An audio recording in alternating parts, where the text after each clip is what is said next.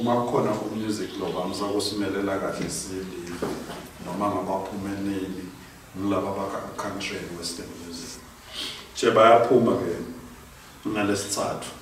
bayahamba baya enhlokodolobha vele e-country western music eh eMelika kepha-ke lesikudumisako sibaka-arts and culture ukuthi letinye tinto when it happens during your time uve ungazuthi nanawe buhambe nabo eh siyaye sikhulume thina kuma-arts kokuthi eh ema-arts na ufuna kwaqala ngelive ngelive ukuthi asezingeni lekanganani uwaqala ngetindzaba letimbili yekucala kulokuthi kuyenteka yini baphume bahambe bayoperforma kustage lesithide around the world kunebantwana nabo bayaphuma baya e-robben island bahamba bona nge-weekend babheke ukuthi mhla ka-29 bantwana babese-robben island. I-robben island-ke nayicala i-program yabantwana yathi ngesikhathi e-south africa um ithola inkululeko the whole africa participated So Babese Batsike, let, let, let us design a program that will promote unity of Africa, our cultural heritage, our national heritage, our cultural identities. So by bakubiteke nge-Spring School Summit, lotrosi Spring School Project yabo bayendlelele ngale nyanga yaSeptember. siyathi nje nasinele ukuthi nasigijimisa ka-arts and culture hawu sebatawubona nembala naku nanamuhla silana sisendleleni siya enashville uh, enashville ke in america it's the njengoba shinto ngilangeni it's the capital of country music. Asibonge nje e- e- e- e- ebandleni laka-arts and culture le-support lesiyitholako sithi abaqhubeke bayisupporte i-art kankwane nathi lezi lapho ngesifundzi emakhasha yabanye imali njengase-south africa ukuthi yini yona le bayele ezikhasha kuphilisa ngambe kwesifiso sakho sikangwane lama-cultures kube njenge-football ukuthi isikole ukuthi naba nabana ngakuphilisa ngale culture kule nhlangano yaka Eswatini Schools Arts and Culture Association eh Eh, eh, ngithunyelwe ukuthi ngichube labantwana labangu-4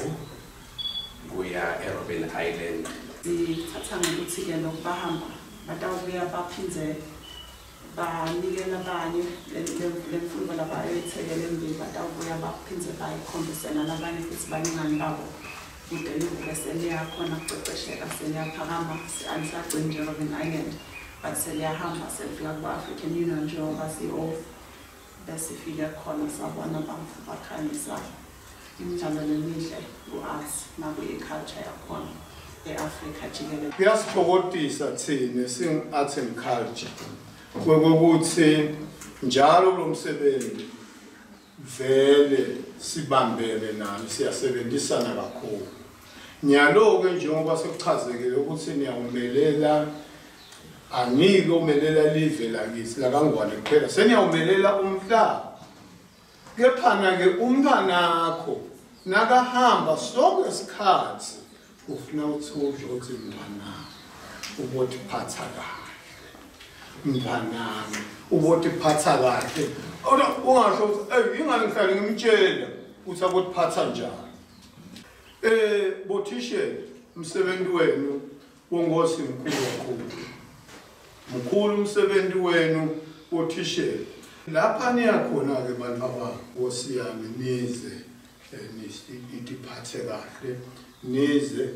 labo thishela noma lo thishela nihamba naye ningambangeli bulukhulu